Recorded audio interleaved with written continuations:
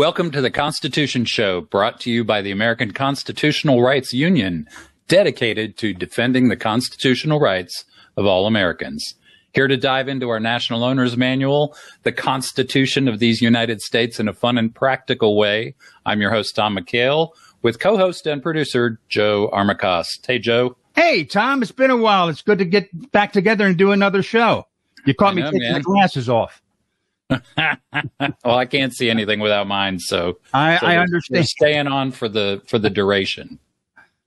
Hey, I, w- I was uh, I was thinking recently. I one of those random thoughts that just pops into your head. I remembered a little interchange between our current president and a uh, I think it was a union worker during the last presidential campaign. I believe this was back in 2020 sometime, and uh, I think we've got that clip, don't we?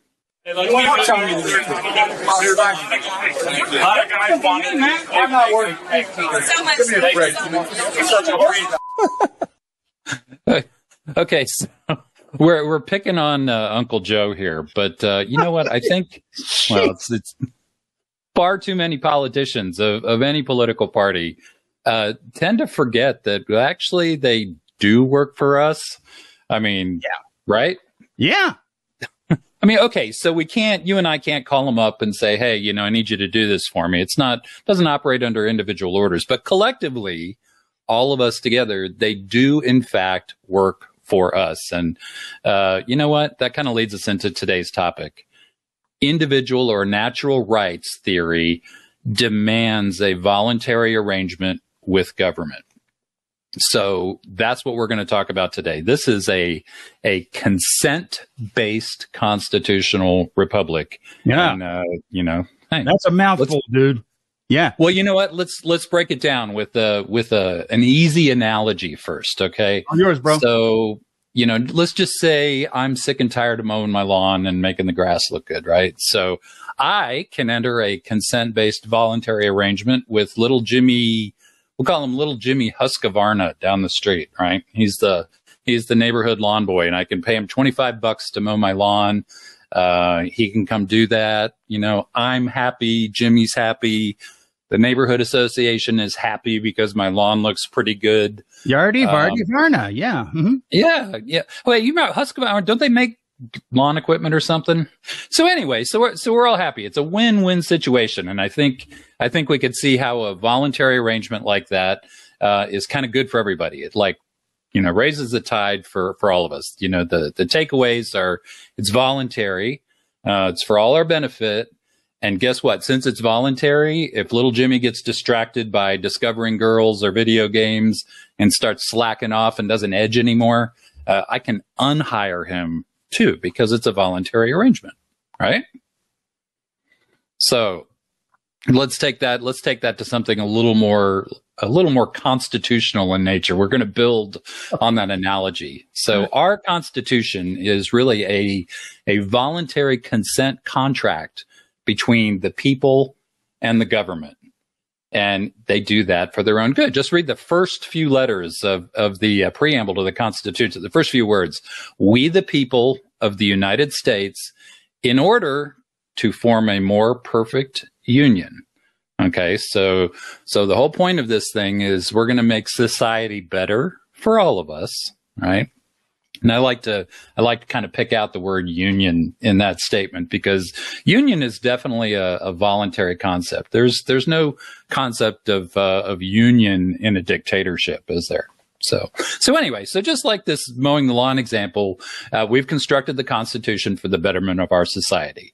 So, and I think the next part of the preamble really defines what that means. And that, that says to establish justice, ensure domestic tranquility, provide for the common defense, promote the general welfare, and secure the blessings of liberty to ourselves and our posterity. Right. So let's let's unpack that. What does that what does that really mean? It means that some things we voluntarily choose to allow to happen centrally government functions, right? So uh, I'm going to dream for a minute. Let's say I have a, a nice multi-million dollar beach house, right, right on the ocean, and we're all a little bit concerned that maybe one day Norway is going to invade. So, you know, under the concept of natural rights and property rights, I have the right to protect my property from a, a, Norwegian invasion, right?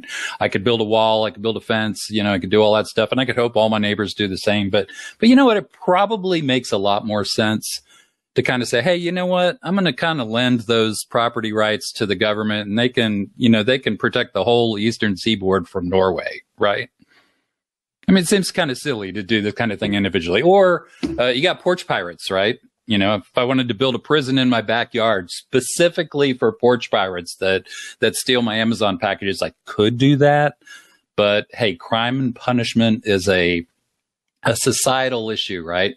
Um, it makes a little more sense for us to kind of lend some of that power back to the government so they, they can run a legal system and courts and, you know, prison for porch pirates and all that stuff.